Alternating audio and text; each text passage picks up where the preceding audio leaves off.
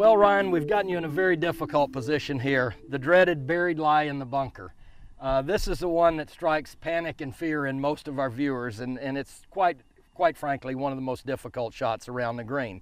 The one thing we want to remember here, there's nothing we can do to make this ball come out high and soft and stop. So we've got to realize that we are going to have some roll once the ball hits the green. It's going to roll out. We're not going to get uh, the ball to stop. So we need to go up and make sure that we know what's on the other side. That's the one thing that you see. If we've got a water hazard or something on the other side, we may not even be able to play the shot toward the pin.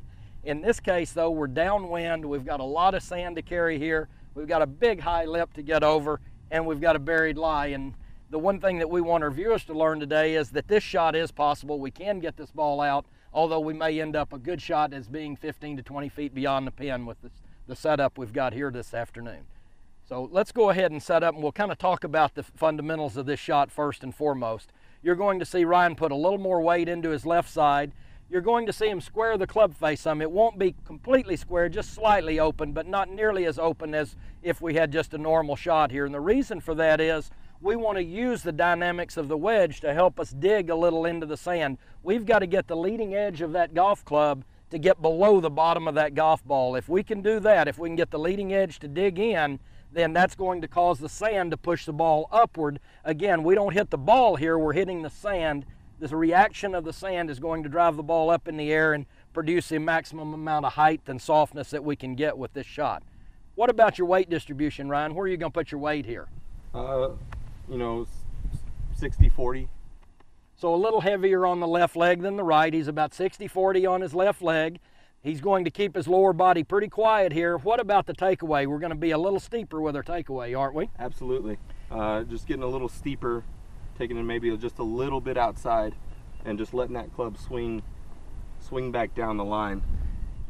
So a little steeper, a little back more back down the line, a little less open with the club face. That's going to get this club working more deeply into the sand, causing the reaction of the sand to push the ball up and pop it up and get as much maximum height as we can.